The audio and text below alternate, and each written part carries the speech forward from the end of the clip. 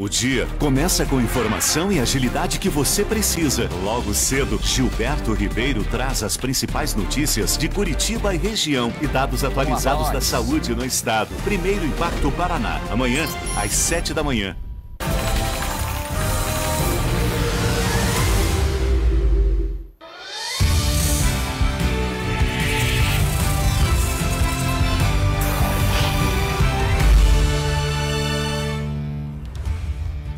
Olá, muito boa noite para você que começa a semana comigo, Luciano Piquete, e o jornalismo com credibilidade e agilidade do Notícias da Massa. A edição desta segunda-feira começa com os fatos que agitaram o setor policial nas últimas horas. Na capital, um homem de 30 anos foi morto com cinco tiros no peito. A vítima já tem passagens por homicídio e usava tornozeleira eletrônica. A polícia suspeita que o crime tenha acontecido durante uma emboscada em um beco no bairro Vila Baíra. A vítima foi identificada como Carlos Alberto dos Santos Pereira.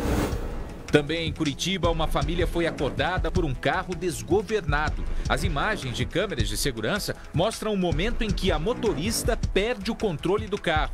Segundos depois, ela desce e nota o estrago que causou. Ela assumiu que se perdeu no, no volante uhum. e pediu desculpa. Ela ficou bastante nervosa, sabe? A mulher foi presa em flagrante por estar alcoolizada. Os policiais contaram que ela confessou ter saído de um bar momentos antes do acidente. A polícia militar foi acionada, compareceu ao local, realizou o exame do bafômetro, constatando 0,50, ou seja, bem acima do permitido legalmente, que é 0,30. E em virtude dessa constatação, a prisão em flagrante da condutora do veículo. Na sequência, ela pagou fiança e foi colocada em liberdade. Mais de uma tonelada de maconha foi apreendida por agentes da Polícia Rodoviária Federal hoje pela manhã em Irati. Ao perceberem que seriam abordados, os dois ocupantes do caminhão fugiram. A droga estava escondida debaixo de sacos de aveia. A PRF estima que a apreensão valeria mais de um milhão de reais. Em Piraquara, a polícia começou a investigar um incêndio que deixou uma pessoa morta e outras quatro feridas. O terreno tinha quatro casas da mesma família. O fogo consumiu duas casas de madeira por volta das 6 horas da manhã de sábado. A câmera de segurança da rua registrou a fumaça. Em uma das casas estava Maria Angélica, de 34 anos, que morreu no local. O esposo dela, William, teve 50% do corpo queimado. E o filho do casal, de apenas 4 anos, também ficou ferido. Ele é o paciente mais grave, com 40% do corpo queimado, está internado com queimaduras de segundo e terceiro grau na UTI do Hospital Evangélico. As outras mulheres ficaram feridas tentando ajudar os parentes. William é filho do agente penitenciário Lourival Souza, de 49 anos. Lourival foi executado em casa no dia 12 de agosto. A polícia espera conseguir mais imagens de câmeras de segurança para investigar o incêndio. Estamos investigando para saber se foi criminoso criminoso ou não esse incêndio que ou se atentaram contra a vida do filho do Lorival.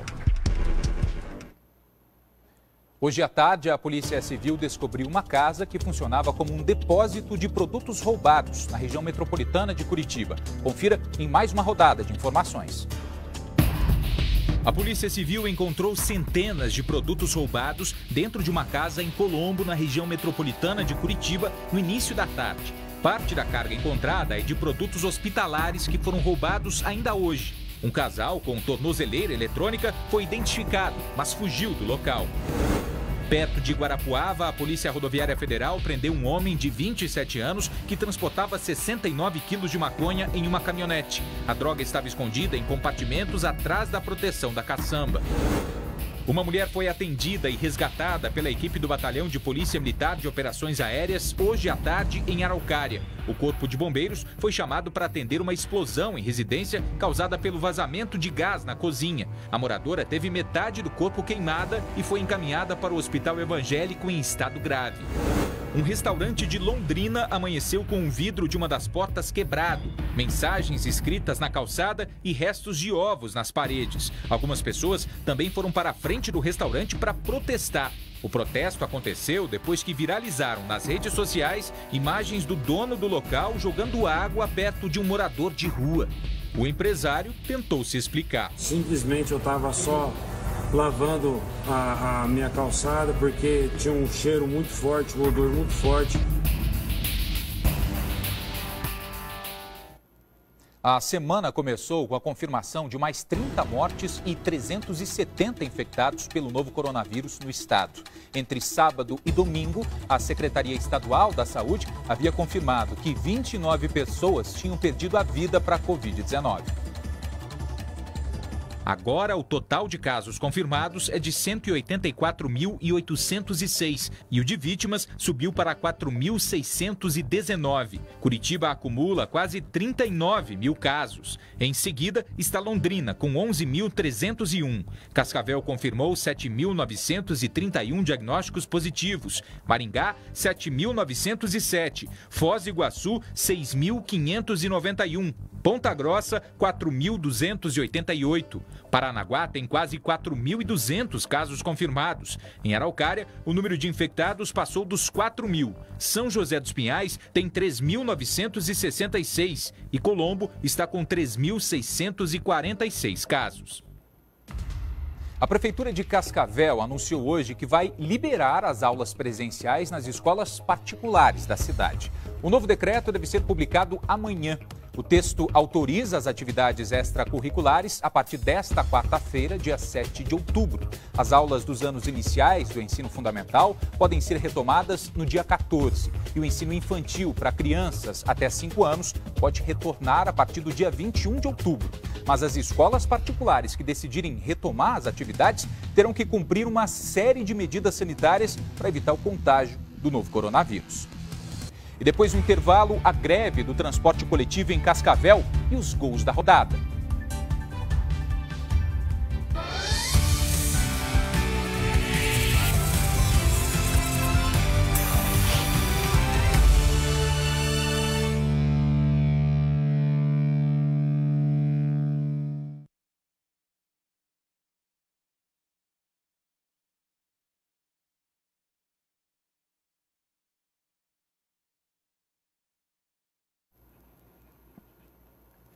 Boa noite para você que está aqui ligadinho com a gente. Olha só, Nick Janesco, a Rita de Cássia Pereira Fernandes, Zezinho Brinquedos, Tanara Guever. Eu sempre erro o teu sobrenome, Tanara. posso ter 70 anos de rede massa que eu vou errar o sobrenome dela. A Dil Tavares está com a gente também. Adão Score conosco, José Ferreira. Tanara Gever, é. Eu sei, na verdade, no fundo eu sei, mas eu erro aqui, não sei porquê. Quem está com a gente também, José Ferreira, é a Tanara Gever, é. Rita de Cássia Pereira Fernandes, o Daniel Graneman Ribeiro está aqui conosco. Tem gente de Palmas, viu? José Ferreira é lá de Palmas. Já já a gente volta a conversar. Ping-pong, né? All right.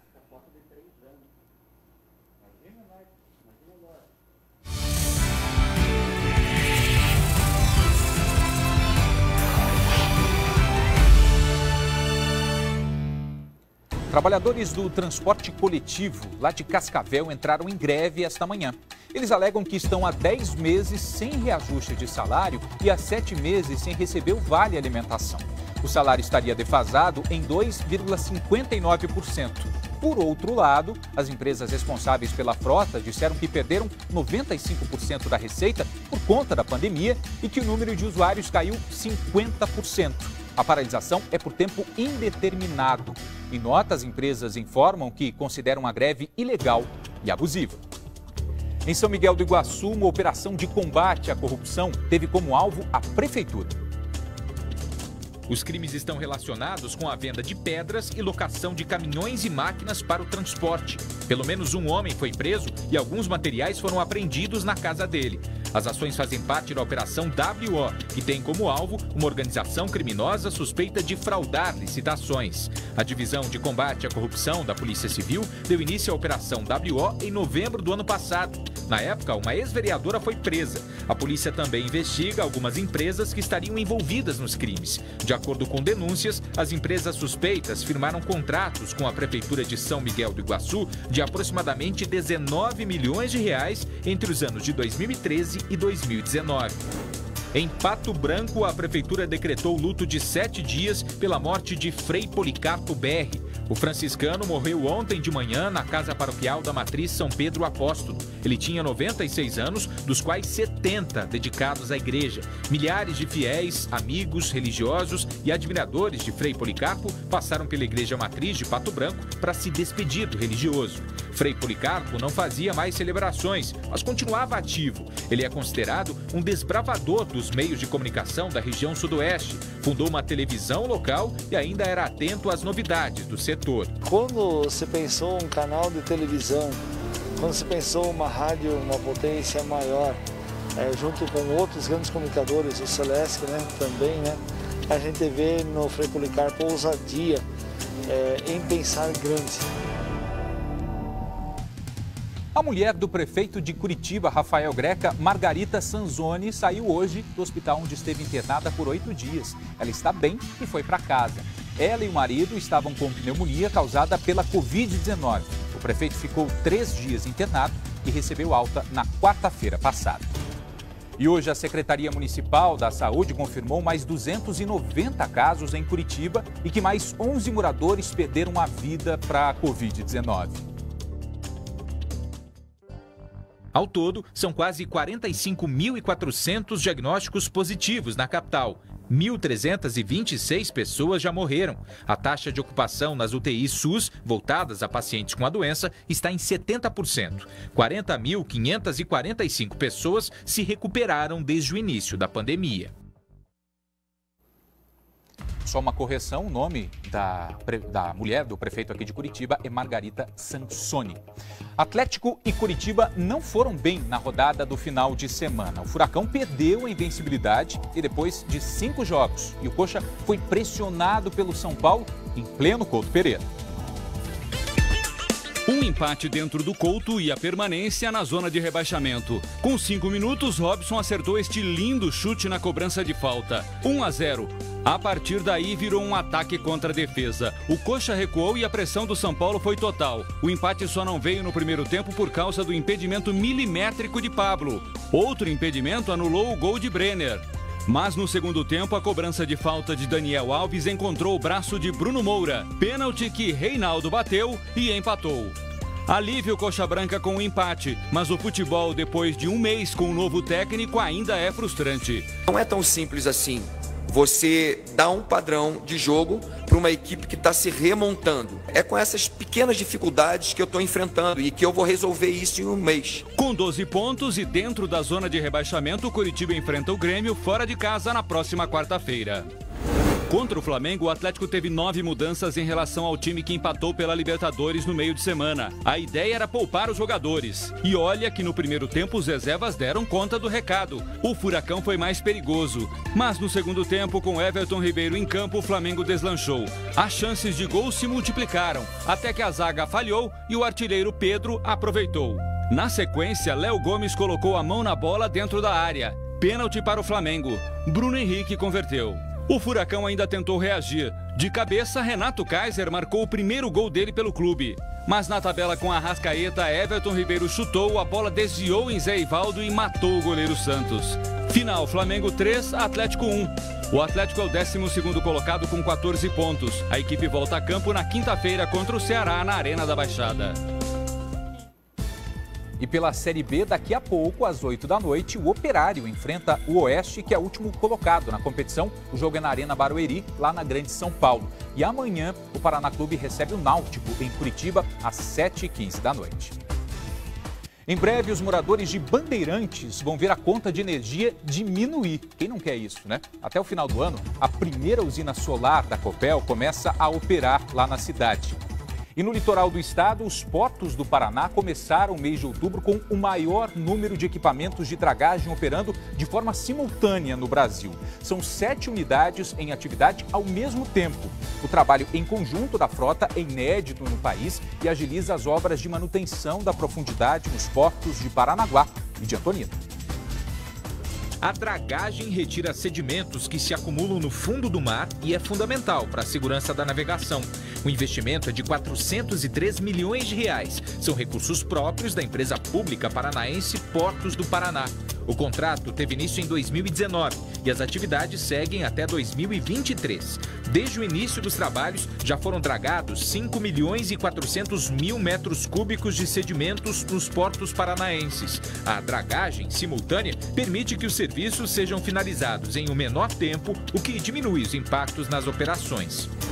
No município de Bandeirantes, no norte do estado, a primeira usina solar da Copel está em construção e recebe a parte final das estruturas e módulos fotovoltaicos. A linha de distribuição, que vai conectar os parques geradores à rede da companhia, também já está em fase de implantação. O sistema vai ter potência instalada total de 5,36 megawatt pico, que é a unidade de potência de energia fotovoltaica. A primeira fase deve entrar em operação ainda em 2020. Os parques em Bandeirantes vão funcionar em regime de mini geração distribuída, em que a energia gerada é utilizada para compensar o consumo de energia elétrica, o que resulta em desconto na fatura do consumidor. Outubro é o mês dedicado à conscientização e prevenção do câncer de mama. E você sabe o que é? Tem cuidado da sua saúde? O câncer de mama é uma doença causada pela multiplicação desordenada de células da mama.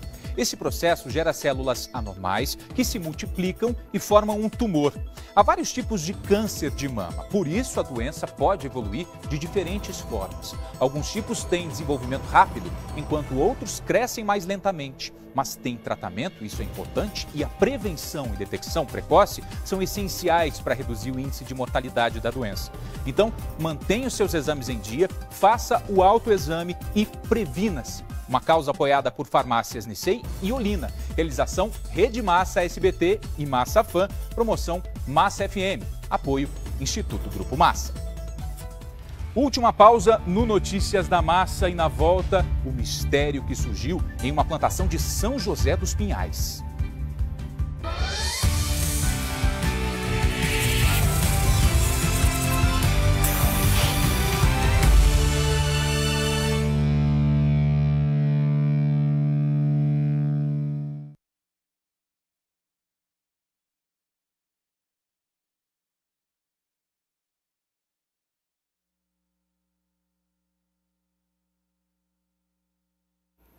Gente, olha, daqui a pouquinho a gente vai trazer esse mistério. Lá em São José dos Pinhais, você já ouviu falar em agroglifo? São aquelas marcas, aqueles desenhos que aparecem em plantações, já apareceram desde os anos 70 em várias partes do mundo, né? E agora aqui na região metropolitana de Curitiba tem intrigado a população. Olha aí, ó, o som do mistério. E eu quero que você deixe o seu comentário na live se você já viu alguma coisa parecida, já teve algum contato, né, ou já teve alguma situação envolvendo seres de outros planetas, algum avistamento. Tem muita gente que vê OVNI, acredita, jura que viu objeto voador não identificado, então deixa aí a, a, sua participação na nossa live sobre esse assunto. Né? Daqui a pouco a gente vai trazer então os detalhes sobre essa situação aqui de São José dos Pinhais, eu não sei o que aconteceu por lá. Não tem explicação, pelo menos até o momento. Essa semana, especialistas vão até lá e, e vão fazer toda a investigação para tentar descobrir o que aconteceu nessa plantação. Então, não sai daí, que daqui a pouco a gente vai trazer os detalhes. Vamos falar também da previsão do tempo. Né? O calorão continua. Tem cidade de Jacarezinho que vai ter 41 graus amanhã, né? muito calor. Isso na sombra. Então, daqui a pouquinho a gente fala de tudo isso. Obrigado você que está aí com a gente. 7h37 da noite. Vamos lá então. Uhum.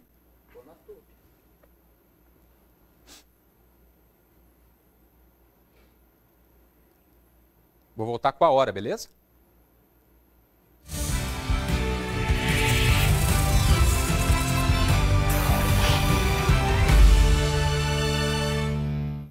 7 horas e 37 minutos, a onda de calor que veio com tudo na primavera trouxe, claro, incômodo para muita gente. Mas tem sempre quem sai ganhando. Nesse caso, é quem vende e instala ventiladores e aparelhos de ar-condicionado. As temperaturas foram lá para cima nos últimos dias e todo mundo correu para tentar dar uma refrescada. A Elaine foi uma delas. A professora quer comprar um ar-condicionado. E eu vim aqui para negociar para levar um outro ar. Só tá um pouquinho caro, mas isso daí, né? Apesar desta loja ter preparado o estoque, alguns itens acabaram rapidamente. Os preços estão lá em cima. Tá bem difícil mesmo. Tem que procurar nas concorrentes. Nesta loja de eletrodomésticos, as vendas de aparelhos para refrescar dispararam. Em apenas um dia, o gerente contou que foram vendidos 88 equipamentos. Eu recebo mercadoria todos os dias pela manhã e isso vai esgotando no decorrer do dia. E um produto específico que eu não tenha, a gente ainda consegue ainda fazer pedido né, pelo nosso depósito, aí a entrega acontece em um ou dois dias. O calorão também vai ajudar a espantar a crise na empresa de manutenção, locação e venda de climatizadores. Geralmente o faturamento é maior do começo da primavera até o fim do verão. No ano passado foram feitos 750 projetos de climatização. Como as temperaturas mais altas vieram mais cedo, a expectativa também é de lucros antecipados.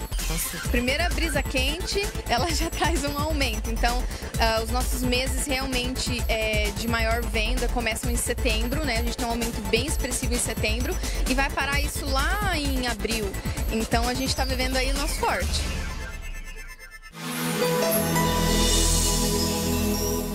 Curitiba não é para os fracos. Após o friozinho de 18 graus no domingo, a segunda-feira foi de calor de 30 graus. E amanhã as temperaturas por aqui seguem em elevação. Dá só uma olhada, o clima permanece seco, o dia deve começar com 17 graus, à tarde a máxima chega aos 32. Na quarta, a presença de nuvens aumenta e o termômetro vai dos 15 aos 30 graus na capital.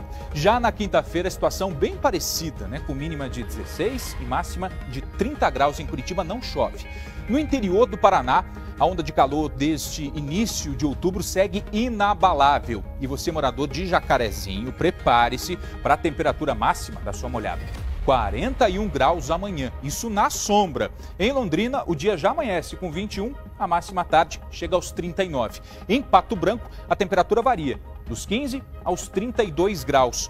E Matinhos, no litoral do estado, esse município é um ponto fora da curva, porque apesar do sol, que deve brilhar por lá o dia inteiro, a terça-feira será de temperaturas bem amenas, que vão, olha só, dos 18 aos 22 graus.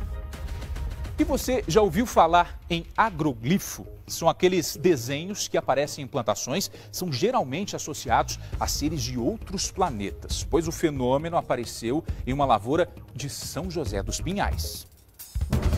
As imagens aéreas são impressionantes e até o momento inexplicáveis. Teriam seres extraterrestres criado essas formas na plantação de trigo? E se não foram os ETs, qual a explicação para o fenômeno?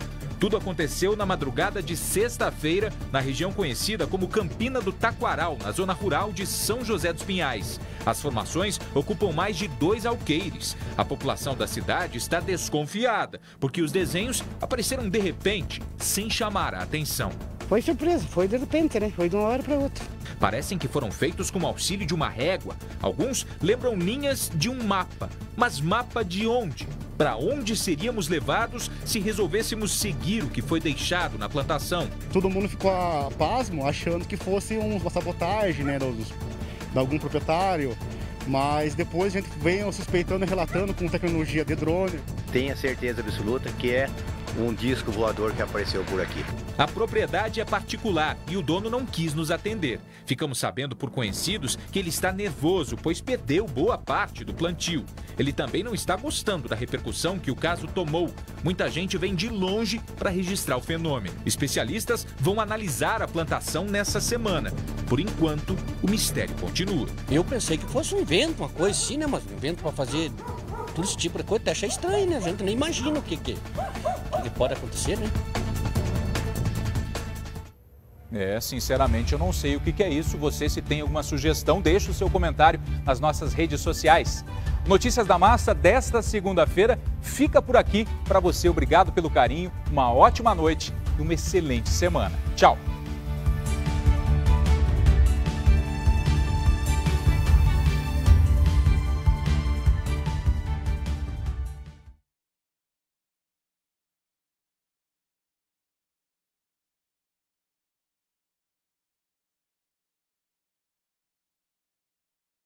Vamos lá.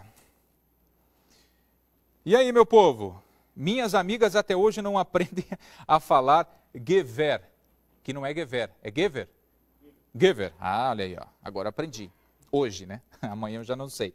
Viu só? Não é só eu, não. As amigas da Tanara também não sabem falar. Carlos e Lúcia Negre. Boa noite, Luciano. Boa noite para vocês. Que legal que vocês estão aqui, continuam com a gente. Boa noite para Rita de Cássia Pereira Fernandes, também conosco.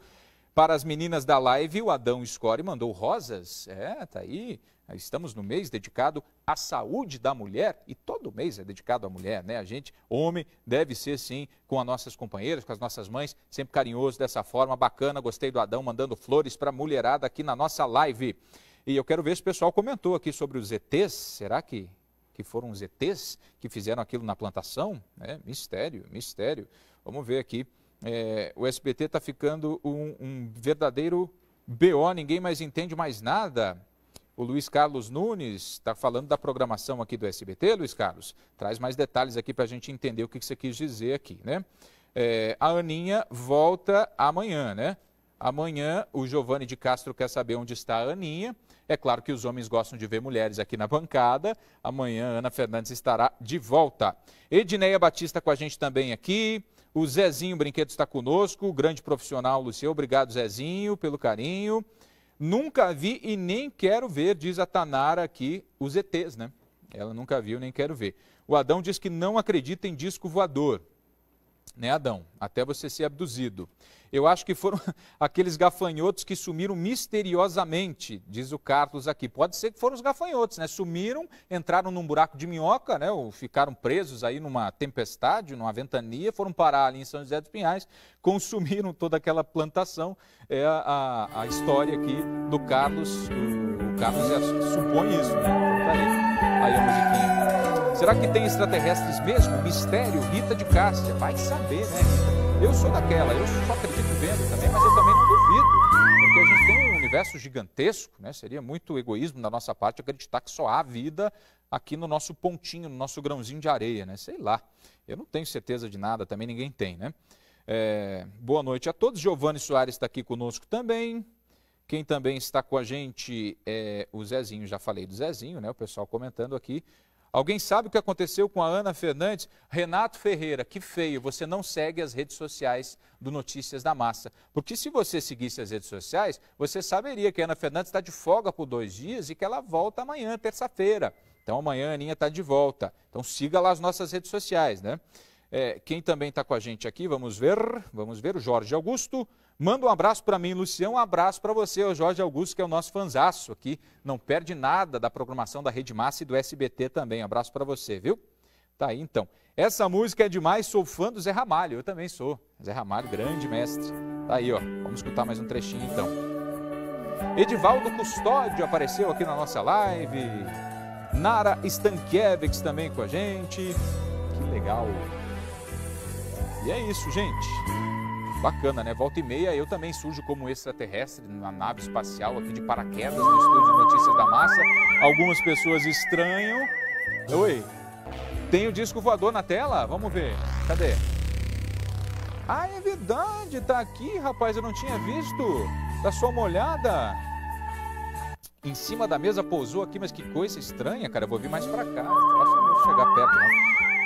E eu também surjo de paraquedas por aqui, né, de vez em quando, mas é claro que a Ana Fernandes está de volta amanhã e ela vai bater um papo com vocês aqui, vai falar sobre o fim de semana dela, ela que andou aprontando aí no fim de semana, mas vocês cobrem dela para saber o que é que aconteceu com Ana Fernandes nesse fim de semana.